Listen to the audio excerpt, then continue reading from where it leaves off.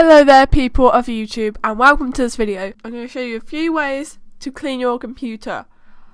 If your computer's that slow, I recommend you do every single one I say in this video. I was at a friend's house a few days ago. I went on the laptop and man it was slow as hell and as soon as I did all these things I did in this video, bam! It was like, it was a noticeable difference. It was like, it was like as good as new. Doesn't matter about how much RAM you have, so even if you have 16 gigabytes of RAM or 32 when you never clean your computer for like millions of years and then it will always slow down. This can help, well, speed up your computer if you just, all you do is go on the internet, so it'll help be a bit faster on the internet, even if you use Internet Explorer. So, let's get on to it. First thing, press Windows key and R on the keyboard, or you can probably find this in the start menu if you're using Windows Vista, Windows 7, Windows 8, or Windows 10. So what you're typing in here is app data. And then when you get into app data, press local. And then go into temp, temporary, which is just temporary crap you don't really need.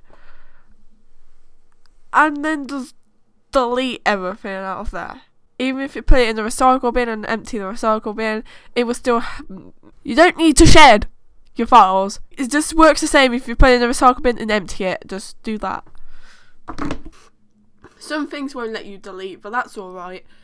Because those are probably like important files or something. You can probably type in in the run thing, but I know where it is. Just go into local disk or Windows 8 or Windows 7, whatever it says, your local disk.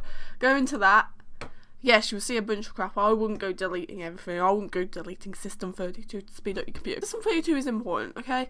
Don't listen to people that say delete your 30, System 32 because then you're basically fucked. Sorry, I had to put that in there, but you basically are. Go into Windows in no, that's in program data. Just go into Windows from here. Windows. This is only for Windows, of course. I'm. If you're if you're using Mac and you want your Mac slow, go and look up how to speed up your Mac on a different video because I don't use Mac, so I don't very often. So never delete this folder, never, because this is a very important files your computer needs, and that's not what I'm trying to tell you to do. Go into from here, go into fetch, isn't it called? Yeah, Prefetch. Just continue this and just continue UACs. I'll just turn them off because they know the crap out of me, and just simply drag it or delete it whatever you like to do, whatever you like to do. And then you can just simply empty the trash. And if there's other temporary files in here, like there usually is, I guess you could delete everything in here. If it let you. Some things won't let you, so like that, just skip, because they're probably important files or something. That's fine. Because they're just like unwanted files, and there's even more unwanted files that, you know, it's hard to do it manually. It's hard to delete things like this manually, so I recommend CCleaner because you can get the free version, or Advanced System Care 8. I use both. I'll show you them both. They're pretty simple. This one doesn't have to run in the background of your computer to tell you, but you can have it on your desktop and have like a a really sad face if your computer really needs cleaning and it really wants you to clean your computer, or have like a medium face like Claiming. Yeah, I guess it's a pretty useful tool where you can fix if you've got shortcut errors and crap. I'm pretty sure it does a good job. Or you can use this one because this one's pretty simple and easy because you just open it and then you can select what you want to delete. But be careful because this permanently deletes the files. Like, I wouldn't do that just in case it wipes all your files. Just be careful on what you tick, okay? And from here you can just Windows Live. I don't even have Avast. I don't use Avast. Yeah, I might put Avast and stuff there in Google Chrome, even though you might not use Google Chrome and you might use Firefox or you might not have yeah. Because I don't even have Avast installed. I only I have a it deletes your internet's cache and history for you so you don't have to go and do it in your browser. I don't even bother cleaning out my history and my cache from my internet these days. I'll just like cleaning it or advanced system care do it for me. You just simply just run cleaner and it just clean everything. It might take a while at first if you've never cleaned it.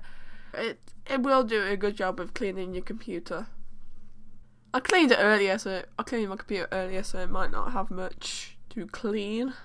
And it also tells you like the specs of your computer up there. There we go, it's done. Yep. And it's just for some reason, I don't even use Internet Explorer and it always has loads of cache and unwanted files left on my computer.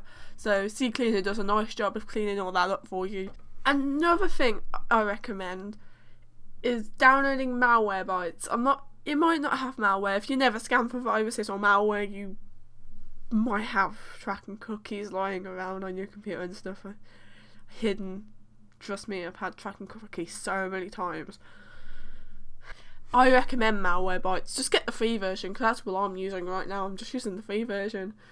Also, malware Malwarebytes helps to uh, to pick up some unwanted crap on your computer, which is nice. If CCleaner doesn't, you know, didn't set CCleaner, I don't know, you know, but it helps to pick up malware and non-malware related that's potentially unwanted crap. I definitely recommend Malwarebytes for this. The free version does not run in the background, so there's no way it will interfere with your antivirus. Even if you do get the full version, it it won't interfere with your antivirus because it's not an antivirus, it's anti-malware, so it's different. It... Oh yeah, this is advanced system care thing here. There's a nice little widget on my desktop. RAM and CPU. I recommend a full scan, even with antiviruses. Do a scan now, and then scan for like malware or unwanted junk on your computer, toolbars. I'm sure it does a good job of removing those. So I recommend Malwarebytes. And another thing I recommend if you never scan viruses is an antivirus. I don't recommend Microsoft Security Essentials, McAfee, and Windows Defender that comes with Windows 8 and Windows 7. I don't recommend. I recommend these antiviruses.